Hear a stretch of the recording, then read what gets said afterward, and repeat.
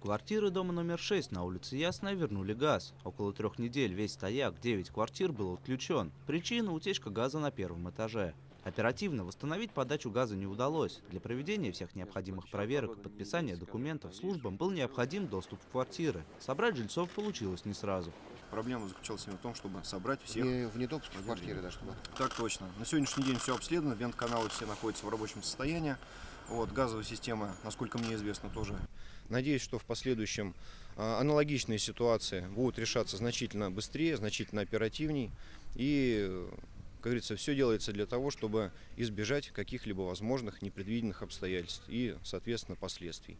Напомним, что по закону собственники обязаны заключать договоры на техническое обслуживание внутриквартирных газовых приборов. В противном случае подача газа не допускается. Теперь, после проведения полного обследования оборудования и заключения договоров, в квартирах жителей Ясной восстановили газоснабжение.